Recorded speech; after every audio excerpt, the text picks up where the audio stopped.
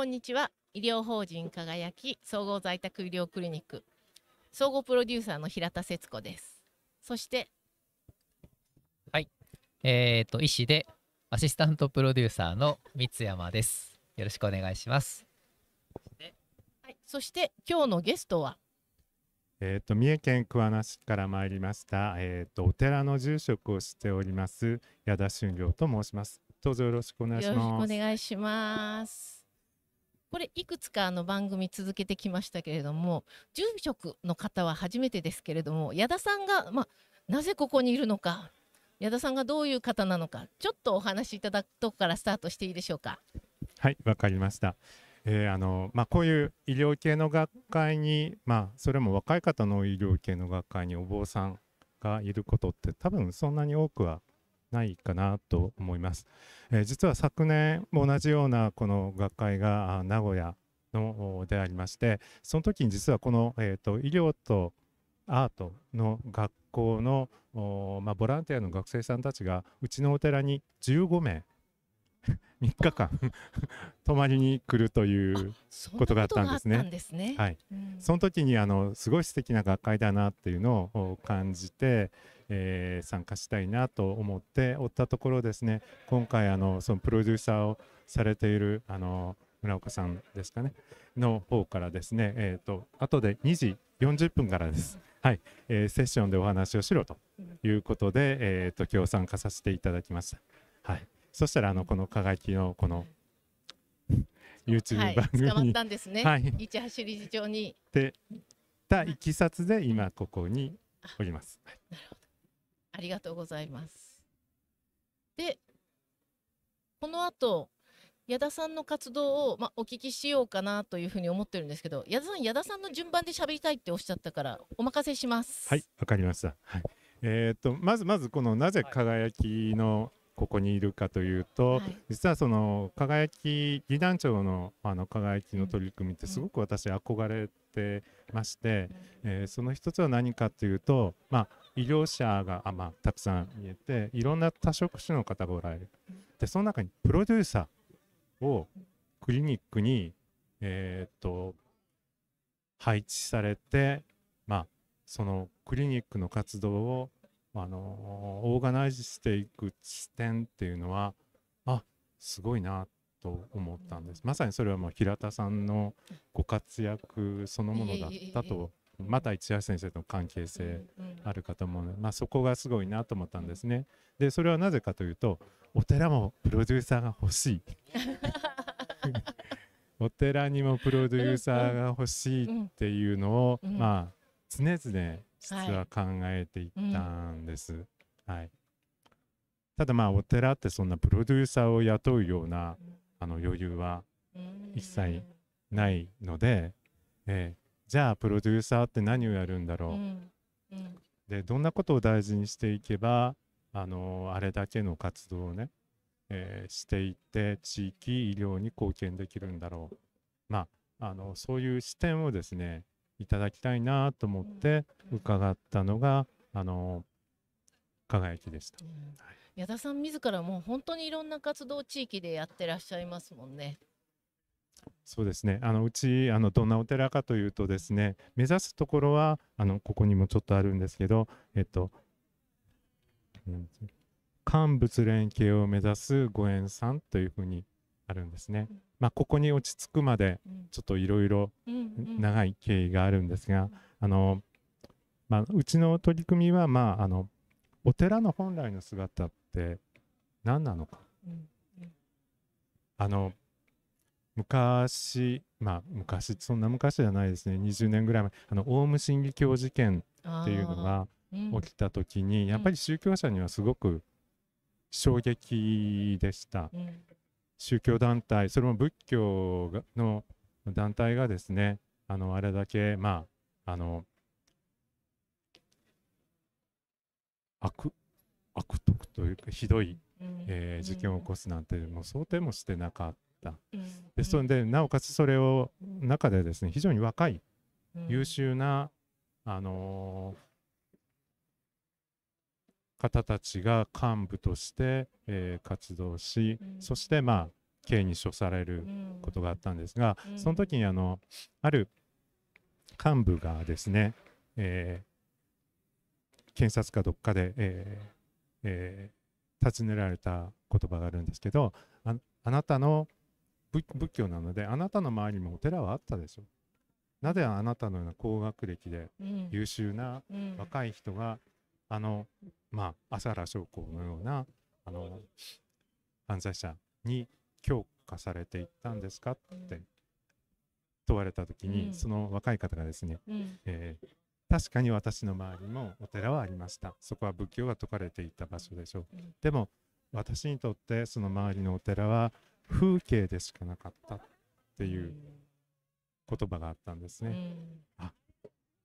風景なんだででなおかつ確かに私もともとあのサイエンティストなので科学者が、えーまあ、自分のご仏縁に伴って実家であるお寺に戻ってお寺の住職になったんですがまあその頃もお寺に来られる確かに高齢者ばっかりでした。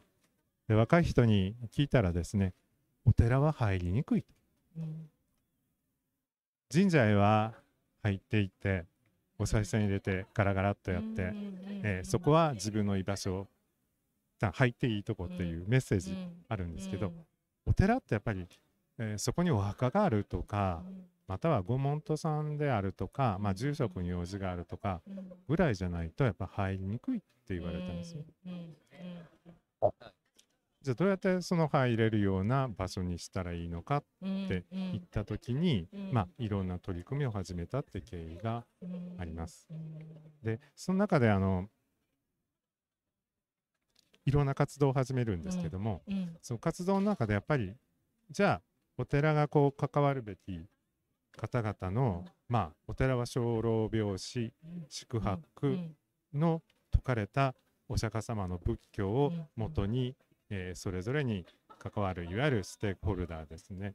の方々の、まあ、あ心の安心安全と、まあ、そして、えーその方の次の代末代まで、えーその教えを伝えていくっていうのが、本当の姿だと私は思ってるんですけども、じゃあそれって本当に今来てるおじいちゃんおばあちゃん来なくなったら誰が来るのっていううん。状況でですね、えやっぱすごく悩んだんですね。うんうんでいろいろ紆余曲折あった結果やっぱり生老病死病を置いて病を得てうん苦しんでいかれる方に応えれるような、うん。そんなお寺でありたいなと思った時に、うん。まあ、先ほど言ったですね医療、うん福祉との連携っていうのをすごく意識するようになったっていうのがあります。なるほど。その時今輝きはねうん。プロデューサーという方がおられて、うん。地域との連携をすごく、うん。あの意識して取り組んでおられるっていうところがすごく魅力的です。一番最初は子ども食堂との関わりでしたよね。子ども食堂もやってるしっていうようなことで、時でしたね。そうでしたはい。ね。そうでしたね。いらっし。ゃって、はい。うんはい。はいうん子ども食堂も確かうん。に地域にこうん。う開いていく方法の一つうん。だったかなと思います。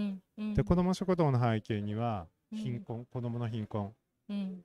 6人または7人に1人の子どもがご飯が食べれないという状況があるといううん。社会的な空ですよね。うん。国に対してこう何ができるのかなっていうことを考えた時に、うん。まあ、ちょうどその頃、まあ、社会に広がっていた子ども食堂赤貝さんもね、はい、されてましたよね。そうですね。うんそこに手をつけるすごい共通点あるとはい思いません、そうですね。そうそうそうそう。うん。でそこからそので子ども食堂は子ども食堂で続けながら今そして乾物連携っていうところにまた乾物連携ってでもどうやってやり始めるんですか？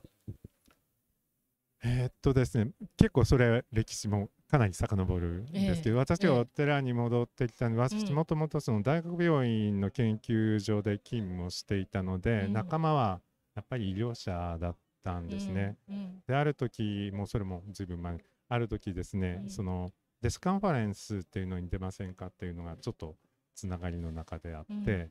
えーその中で出てみて、うん。いかに医療者の方々が、えー死喪失っていうことに対して、まあその時の私の表現で言うと素で。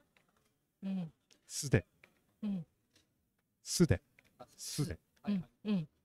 で。すね、に向き合っておられるんだなっていうのを感じたんですね。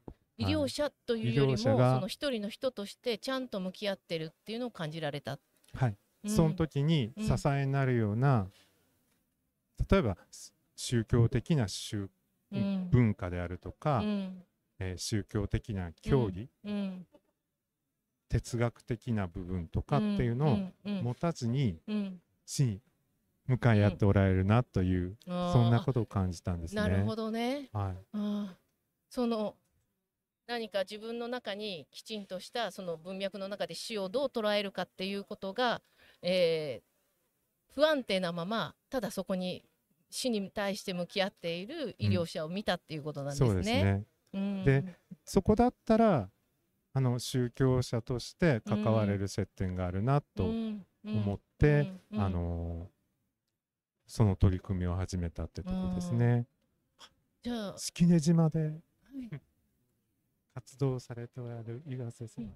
まさにお寺とはい、医療のコラボを、えー、と島式根島というはい、島で取り組んでおられる岩瀬先生、あ大丈夫かなと思います、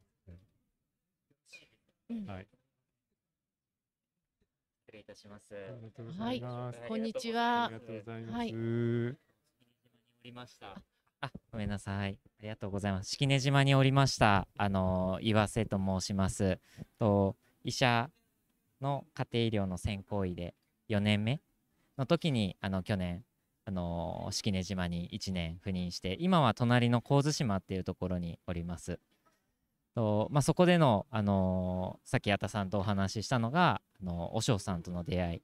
であの式根島本当に医者1人で他に医療関係者も看護師さん2人ぐらいしかいない中のかなり狭い。で自分以外にやっぱり頼れる人ほとんどいないっていう寂しい時にお寺にお経を読めます。朝お経をみんなで読みましょうみたいに書いてあって。行ったらあのお嬢さんと2人であの南無妙法蓮華経日蓮宗だったんですけど読ませていただいてそこからの付き合いでもうほぼ1年間父親のような年齢的にもほぼ父親ぐらいだったんですけど父親の親のような付き合いであのよくしていただいて二人称がてめえっていう和尚さんなんですけど そういう人柄もやっぱすごい地元の人に好かれててはい非常にありがたい経験でした。あのどんな話を今していたかというとなぜあのお坊さんがまずここにいるかと。こんな医療系の学会にお坊さんがどうしているのか。そしてそれもこの輝きというね本当に地域の最先端の、えーえー地域医療になっておられるところに関心を持っているのかっていうのを話している中で、ねまあ私が宗教とあの、まあ、医療の連携をどういうふうに形にしようかなって、まあ、悩んでる中でね、えーこの輝きのですねいわゆるプロデューサーを置くっていうことがすごいなと思ったんですね。あだから連携していく時ってなかなかそんな簡単なことではなくて相互の信頼感とか、えー、と目指すところがどこにいるのかっていうのが大事だと思ってるんですけど、うん、その辺ってどうやってなん。か作ってそうすると今のおええ。話で、その、えー住職さんがこうしてその在宅医療とかに関わるっていう風だと患者さんのところに臨床宗教師としていくっていうそういう関わりがあの多かったと思うんですけれどもそうではなくてまずは医療者がその静止感をきちんと自分の中にあの取ら取り入れるためにまずはあの医療者とのお話から始まるっていう感じなんですか？私のイメージは、うん。あの仲良くなることがああはい。一人の患者さんをうん。を見るときにうん。当然医療者の視点も大事、うん。で、えー、と地域のうん。ごあのご門徒さんとして、うん。えー住職が見てる視点うん。も大事と思ってい。ただけるよううな、んえー、と医療の関わり。うん。まあ何しろこの人の区っていうのはまずうん。病区なので、うん。患者さんのですね。病区とか病区なので。はい。そこにうん。アプローチできるのは、うん。私医療者だと思ってるんですね。でその時にその人がどんな人でうん。何を大事にしてて、うん。またはこの人に、えー意見申せるのは例えば、あのえっ、と義理のおおじさんであるとかうん。うんうんそういう背景は住職さんはよく分かってらっしゃいますよね。ううん。ん、法事の旅に行ったりしてよく分かっていて、うん。で亡くなったら世話にならんなあかんっていう、うん。その縛りの中でですうん。ね、うん。そこにこうお医者さんいていただけたらうん。あこの人の最後大丈夫だなって思えるんじゃないかなというふうに、まあでもその事例ってそんなにないんですよ。うん。うん。うん。であのー岩瀬先生のね、うん。お話を聞いてて多分うん。そんな事例が、えー、と短いうん。不妊期間の中でも、うん。そこを意識しておられる医療者なんだなっていうのをうん。うん。感じ、その辺を実はちょっと聞きたいなと思ってた。ありがとうございます。すいません、ありがとうございます。文脈も存じ上げず失礼いたしました。いえいえ。と、そうですね。まさにその仲良くなるっていうか、うん。一人の人間として出会うっていうところがやっぱり地域の魅力だと思うし地域で必要なことうん。って思う時に、あのーまずはあの人間同士として出会う、うん。で僕はその和尚さんにもその言われてたのはあの診療所だったらお前がてめえが先生だけど、あのこっちだったら俺が先生だからな。ってうん。でそれをさらに抜け出して、うん。あのその和尚さんのあの秘密基地みたいな小屋うん。飲み小屋があるんですけど、うん。みんなでお酒飲む時はもうみんなで、うん。あのそこはもう、えー先生とか全くなく、うん。あの僕はかけるって言うんですけど下の名前で「おいかける」って呼んでくれたりとか、あのそういうような関係性があって、うん。でもやっぱりあのいざその宗教行事とかで、うん。あの新年の方へとか、うん。あの僕も参加して一緒に日蓮宗だと水かぶったりするんですけど、うんそういうのを一緒に体験させてもらう時には、うん。やっぱりあこの人和尚さんだ、うん。この人はやっぱりその死生観を背負って、うん。あの彼の中で消化してでそれを島の人たちに還元してる、うん。島には1個しかお寺がないので、うん。あの島の人たちのあらゆる生死だったり、あのえー悪霊うんとかのお祓いもやってくれるし、うん。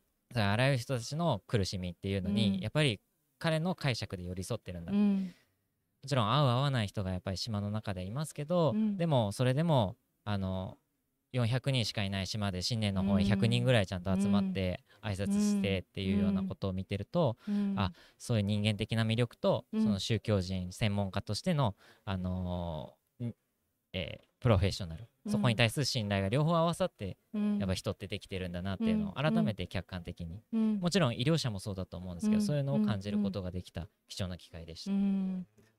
岩瀬先生にとってそのご住職はあの、ま、人間としてのなんか先生みたいなはい。部分もあるし、うんうん。えー同じ患者さんを、えー医療者として見るあるいはお寺の住職さんとして見るっていうような形で、あの関わりもあるしっていう。そうですね、あのいろんな関わり方があって特うん。に島って、うん。あのーもうおのずと別にお寺とか診療所に限らず、うん。あの商店とかでも、うん。あの人として関わらなきゃいけない、ううんんどう逃げても。あの、看護師さんっていう人うん。だけじゃないんですよね。うんあのなので看護師さんだから、うん。あのずっとあの看護師さんとして関わり続ける、うん。医者だからずっと医者として関わり続ける。だけじゃなくて、うん。やっぱりあの街中で出会うこともあるし、うん。一緒に飲むこともあるし、うん。一緒に買い物の途中で出会うこともうんあるし、うん。うん。うんそういうような経験を重ねていくと、やっぱりうん。全体として見れる力っていうのがおのずと養われるんじゃないかなっていうのを感じました。なるほど。矢田さんが目指すのはそういう地域なんでしょうか？地域って、まあ、うちらはあの、ま、結構町といえば町なので、えー、とその町でそれをしていくって多分難しいと思うんですね。ただ私側からすればうちのご門徒さんが病気の時にあの先生に任せてまたはあの訪問看護師さんに任せてそして自分も共に一緒に、えー、看取りに関わらせていただいてそして送りたいなっていう思いはあるんですね。うんだなかなかそういうのをこう理解していただくのって、えー難しいのでまあ例えば岩瀬先生のようなところの取り組みで一つのこう事例がねあの作っていければそれがきっとはい、あのーあこんなこともできるんだまたはこんなことをするとそのご本人さんはあ穏やかにねその受け止めていけるんだっていうことを多分昔あったはずですよね。そうですね。昔そういうものを今やっぱり改めてこう言語化していく必要があるなって思った時にしまっていいな私も年取ったらあの山寺の和尚さんになりたいなと思って。い一つの村に一軒。まあ距離感が近いところでだからこそできる関係性もあるし、うん。でもそれも結局でも都市でもやっぱりある程度大きい町でもやっぱ再現はできるしその時の関係性の時の視点っていうのは常に変わらないと思うんですよね人として見るっていうのはうんそれはやっぱり専門家が失いがちな視点をいかに取り戻すかっていう時にあの矢田さんのおっしゃる通りあのー島とかクローズドなコミュニティって結構そういう意味で強いのかなっていうふうに感じました。うんうんというところでちょっと次もあのすいませんありましてちょっとまたヨーヨーさんに戻したいと思います。ありがとうございました。こんな事例に駆けつけてくださいませ。ありがとうごいざいます。忙しい中ありがとうございました。ありがとうございます。うんなるほど。ねとはいえやっぱりねはい。今矢田さんおっしゃったように、はいはい島のじゃないところの方が珍しいわけなのでそうなんです逆にうんその医療者がねその、こう人の死とかあの病気を前にしてこう特に若い医療者なんかうろたえたりすることがあってあのお寺さんに助けてほしいっていうふうに思ってもどうやってアプローチをすればいいかがそこわからないんですけど入りにくいですよね、お寺は。多分に。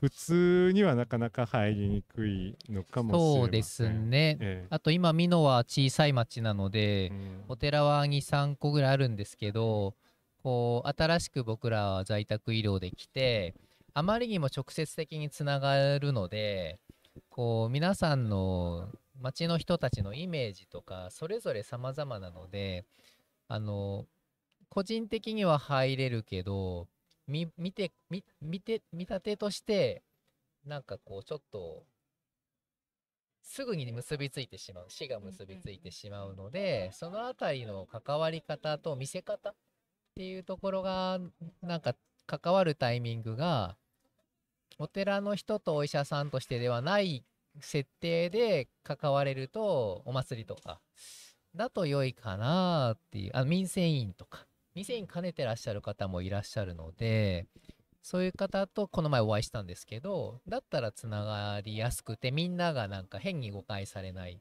でも本当に大事なとこはもっと医療者とあのお坊さんとして出会うことも大事なんですけど、まあ、そんなところも実際ありました。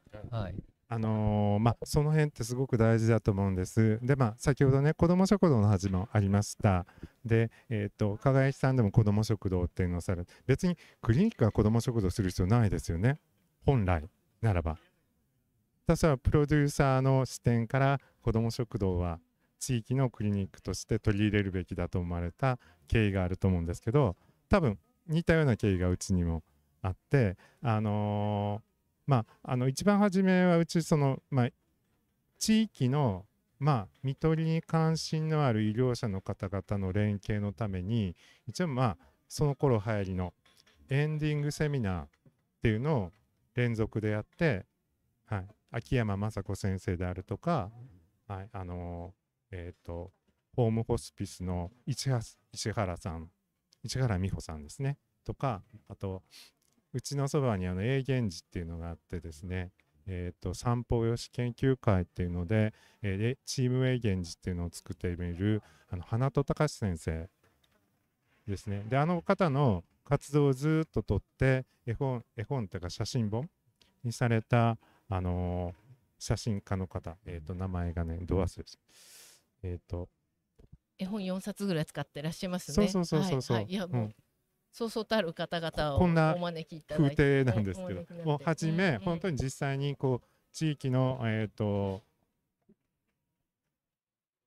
看取りに関わる訪問看護師であるとか介護の方とか、えー、と病棟の外科のドクターの先生であるとかにお寺に来ていただいてお寺で講演会をしていただく。でそれをまあ一応宣伝をしてそのに関心のある一般の人もそうだし、えー、と福祉医療に関わる方々も来ていただいたんですね。でそこでまあお寺お寺でやると面白いよねとかね。だから切り口はだからその終末期医療とかターミナルケアっていうとこで切り口にしてでもでもお寺が主催。で住職はこんなことを関心ありますよ。住職の立場からこんなことが必要ですよってことをまあ一応お伝えさせていただいて、うん、面白そうだねっていう仲間をね仲間作りをそういうまあ切り口でししたんですね。でそういう方々となんかいろんなお話をする中でちょうどまあその頃、えー、と子ども食堂に関して言えば子ども食堂子どもの貧困ってなるよね。ご飯ぐらい私たち作れるよみたいな方が集まってでご飯作りと子ども食堂ただそこにいるのはそこで関心のある人なので、えー、と看護師さんであるとか、えー、と助産師さんであるとか、薬剤師さんであるとか民生委員、えー例えば児童主任員さんとかが集まってるじゃないですか。そうすると子ども食堂に来たお母さんが、えーちょっとこのうちの子供が今赤ちゃん連れてたらおっぱいの飲みがって言ったら助産師の方が相談に暮らしの保健室の形にそこでなってくるんですね。そうするとそのお寺が死だけ扱うとこだけ死だけ扱うっていう場ではなくてみんなの暮らし困った時とか助け合いたい時にあの集まる場とかそういう意味合いを持つって違う意味合いを持ち始めますよね。そうですね。まあ、あの、多分入りやすくもなるだろうし、あこれをお寺のやることって皆さんはじめ、はじめ驚かれるんですね、子ども食堂。でもよくよく考えてみれば、昔、お寺って寺子らだそうでったし、すよね。子どもの、いわゆる学ぶ場だったんですもんね。場とか遊ぶ場だったので、でもじゃあ今、子供がお寺に遊びに来るかっていうと、一切ない。うん、し、あのお寺に行くところだと思ってないんですよ。まあ、うちに子供食堂に来られる子供たちは、もう嬉しくて。で、実は一番喜んでいるのは、うちの仏様なんですね。仏様が月に100人ぐらい子供が来るお寺ってまああの幼稚園とかね併設してたらあれそうそうないはずなんですけどいやそういう子たちにはいや実はあなたたちが来るとうちの仏様むちゃくちゃ喜ば喜ばはるんでで言うと彼らにとってはうん。多分うん。お寺はすごく嬉しい。特に子ども食堂なんですけど、うん。子供食堂来るとお母さんはスウェーデン揚げ膳スウェーデンでごご飯が出てきてあうちはあの子供食堂300円なんですね大人。子供は無料高校生まで。そうするとちっちゃなお子さん3人連れとかのねお母さんが来てもかかるお金は300円子供食堂に入れば揚げ膳スウェーデンで美味しいご飯が温かいご飯が出てちっちゃな赤ちゃんみたいな子はスタッフが抱っこしてます。抱っこしてるスタッフは看護師さんです。で、そして、えっ、と、来たお母さんがよく言うのは、久しぶりに両手でご飯を食べれました。まあ、ワンオペで食事をしてるお母さんがいる。そうすると、片方抱きながらだから片手でしか食べれないってことですよね。そうするとすごいお母さんも機嫌がいいんですよ。通常であれば、早く食べなさいとかね、こぼしちゃダメじゃないみたいなこと言われながらいるお母さんが、実はすごく、あの、ニコニコ、お母さんがすごく嬉しい。そうすると、そこに連れてこられる子供は、あの、お寺って温かい場所になるでしょ？そうすると例えばそのちっちゃい子も人間なので大きくなったらうん。いろんな学校でいじめられるとか人生の方に不安を覚えるとか。うん。まあそんな課題抱えますよね。うん。そんな時にそういえばふとね頭に小さい頃ねお母さんに手つかれ引かれてお寺の山門をくぐってうん。お寺の本堂に上がってあの畳の心地よい触り心地の中綺麗な仏様にお参りしてあお母ちゃん機嫌良かったなとかねうん。あったかかったなっていうのを心に持つじゃないですか。うん。うん。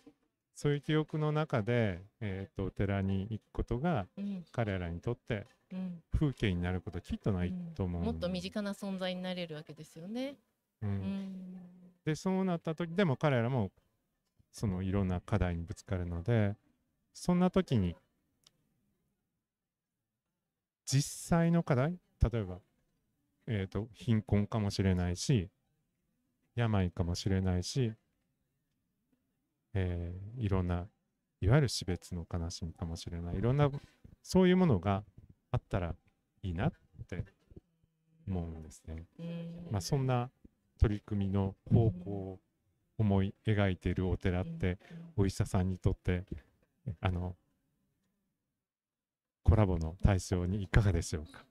対象ですコラボする対象としてはいかがでしょうか？いやもうコラボしたいですしなんか同じことを考えてると思います。えっと、まあ、在宅医療もこう人生の最終コーナーに関わるっていうことで、まあ、それに特化しているので多くの人にとっては接点がないものなんですよね。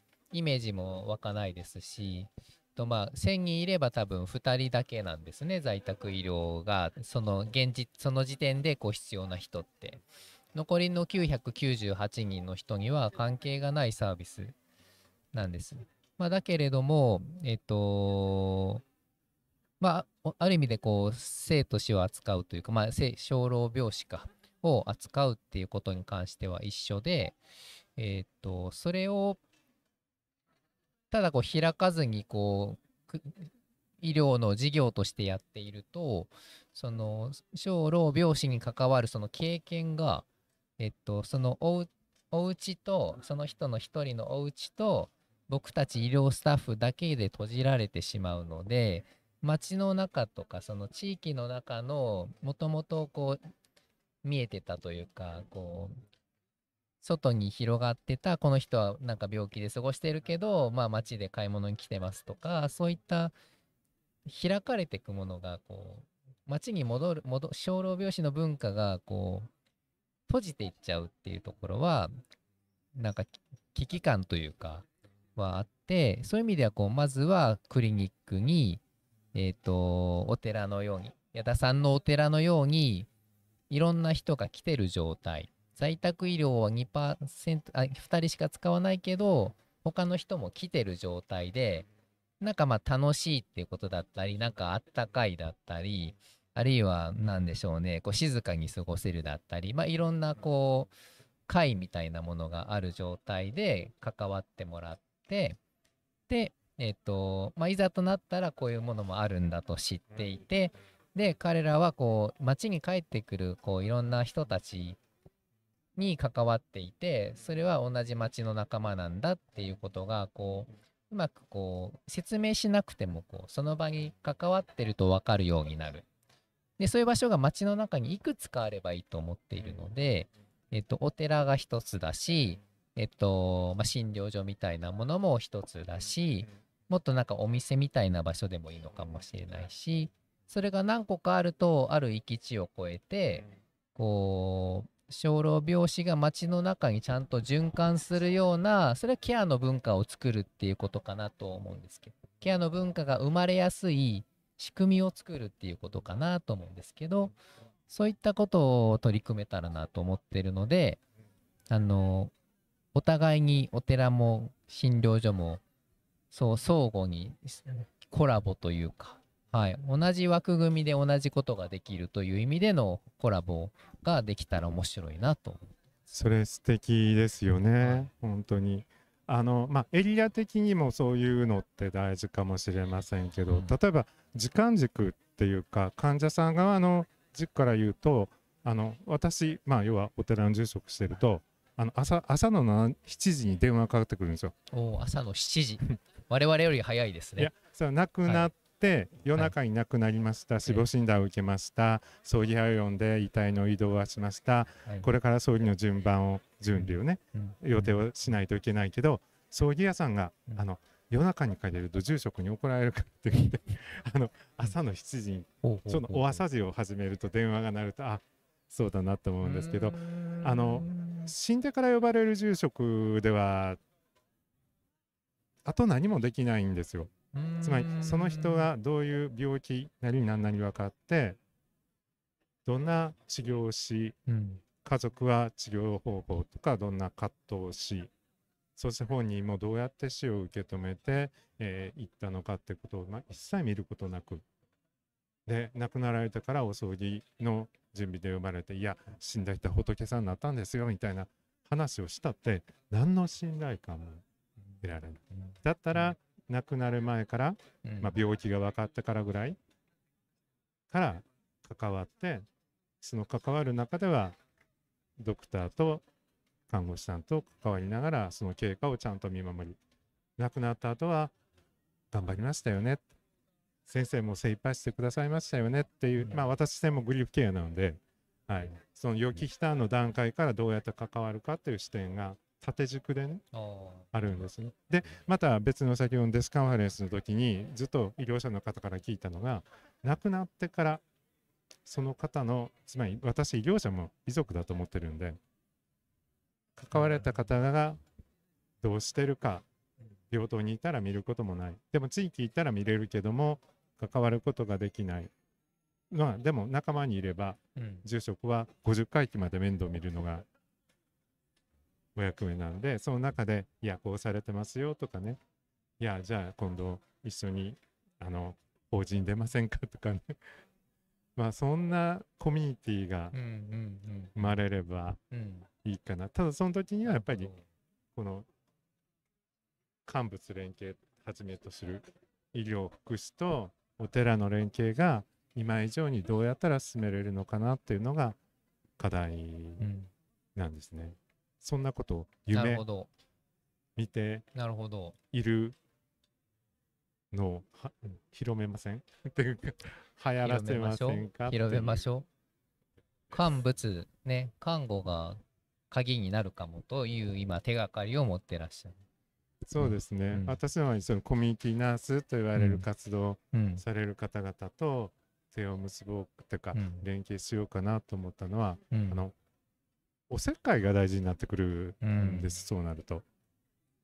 求められてで求める側にその選択肢がなければ求められないのでそうじゃなくてうんあの、まあ、環境も含めねどうやって関わっていくかっていうのをした時におせっかいが必要だと考えて、えーます。おせっかいされてます？おせっかいしたいなと思ってます。うん。いやいつもしてるじゃないですか。いつもして仕事じゃないですか。プロデューサーっていうのは。おせっかいおせがねっかい業じゃないですか。はい。おせっかい、はい、はいはい。お人よし、それをフォロワーおせっかいあおおおせっかい 3O っていうのがね、はい。輝きあって。はい。あ、お聞きになった 3O ことないですか？はい。え？本当ですか？おせっかい、お人よし、おっちょこちょいっていうこの三つがうちの採用基準なんです。ちょこえおっちょこちょいっていうのは素敵ですね。ええ、おっちょこちょいじゃないと、はいはいこう仕事をちょっとはみ出した例えば矢田さんだとそのこうお坊さんとしての仕事をはみ出す時にこれやっていいのかとかすごく慎重に考えたらできないでしょ？ちょっとおっちょこちょいじゃないと踏み出せないんですよ。はいおっちょ、こちょいです。え 3O です。そうか、はい。うん輝きの範疇に入ってたんですね。はい、知らなかった。でもそういう人たちがちょっとずつはみ出していくとはみ出したとことはみ出したところがのりしろになってひっつけますよね。そあの全ての職種の人たちがその決められたことだけやってれば何ののりしろもないのででもつげつなげないんですけどみんながちょっとずつはみ出しておっちょこちょいにはみ出していくことが大事なのかなっていうふうに私は思ってますね。そうですね。あのー今あのその厚生労働省が2040年問題の処方箋にやってる、うん。あのえー地域共生社会うん。の軸になるであろうと言われてるうん。コンパッションうん。という概念はまさにおせっかいを含む概念なんです。うん。ほっとけない。はい。うん。うんほっとけない。人喪失を前にして沈む人をほっとけない街にしましょうねっていうのがコンパッションコミュニティーズっていうほっとけないでしょ。いやあ。仏がある。仏がない。いや仏様っていやいやそう仏ある。ほっ仏いとけないけど仏がある。や実はあの一番の石灰焼きは仏様なんです。うんあのうちのご本尊は阿弥陀様っていうんですけど、阿弥陀様はこうこの印 摂取不社員っていうんですけど逃げる者はおあえ取るなりっていうふうに味わうんですが私たちって仏様から言うとに逃げてる。救いますよ。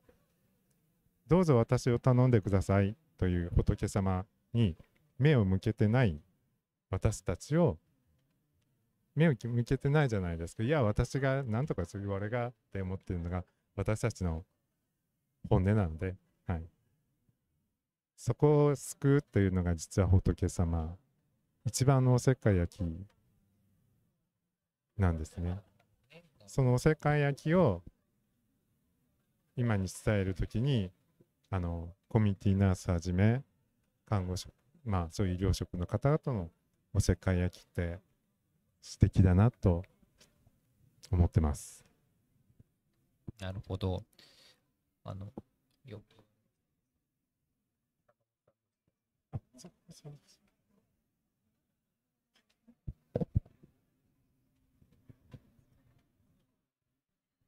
はいではい。じゃあもうもうそろそろ時間ですが最後に最後にどうぞ。また別の連携の、はい。はい。プロモーションのはい。えー茨城県の神栖市を中心に活動しております総合診療院の坂本直人です。はい、あのそのまま紹介だけしていいんでしょうか。あのえっとですね、あのちょっとパンフレットを配り散らかしてしまって、あの現物しかないんですけども、データしかないんですけど、こういうあの暮らしの相談室、ハッチポッチカフェをやっておりまして、それからこここの U あの QR コードを読んでいただくと、えー私たちの活動の紹介と今後の活動の、えー日程が書かれております。主にですね、あのえー医療職だけじゃなくて住民の方とともに、えーどんな暮らしの相談事も、まあ、のり一緒に考えますよと解決できるかか解決できるかどうか分からなくても一緒に相談乗りますよっていう場作りをしていてその中でいろんなえ関係性ができてまた医療系学生が全国からあの合宿に学びに来てるというあの今そういうところまで育ってきております。あとはね八田住職のところにもあの見学に行かせていただいて我々のところでもあの、えー住職の方とあの、えー人生会議とか就活についてのイベントですね。で演劇を、えー中高校生の演劇部の方に演じてもらった上でこうその後えー参加した住民の方にあの就活について考えていただくような取り組みなどをしております。そんな感じです。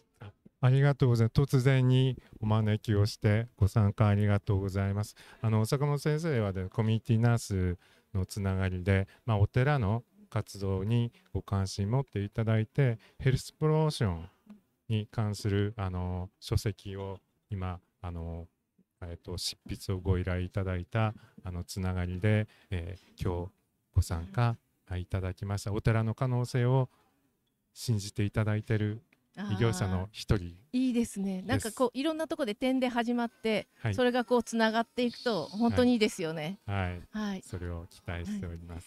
はい。突然ありがとうございます。ありがとうございました。じゃあちょっと時間もそろそろですのではい、ありがとうございました。ありがとうございました。今日はありがとうございました。